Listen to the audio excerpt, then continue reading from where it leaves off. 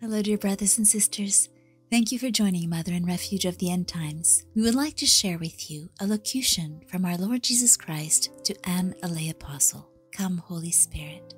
Enlighten our minds to discern and to live in the most holy will of God in all things, that no evil may prosper through us or against us, in the name of the Father, and of the Son, and of the Holy Ghost.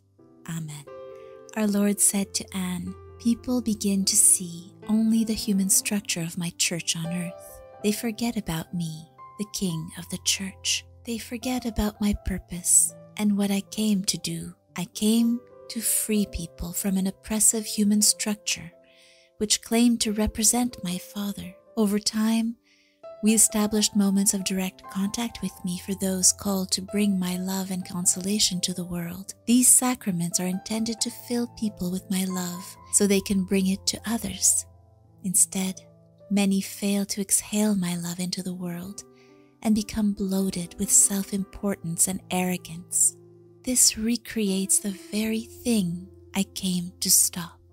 Many people do not and will not share in our understanding of the Father's love through the Catholic religion. They will not understand my position as king of this church, but they will notice our example and our love for them, if indeed we possess that love and offer it freely. If we are faithful to the Father's plan for this church, many will come to understand the Father's gift of my presence in the Eucharist. Will you help me? People must not misuse religion for self gratification. They must allow it to humble them for the Father's plan, which is a plan of love for all humanity. Immaculate Heart of Mary, pray for us.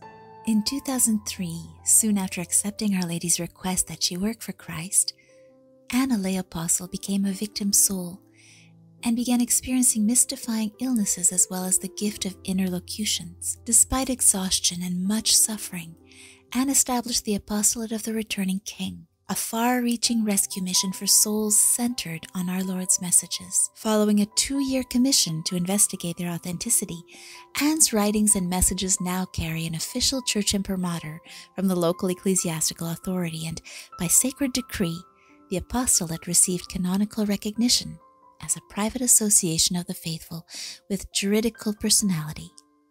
Anne is a wife, a mother of six, and a third order Franciscan. Brothers and sisters, please see the description below for links to our Telegram, Facebook, Signal, and Rumble pages. May God bless you and keep you. Amen.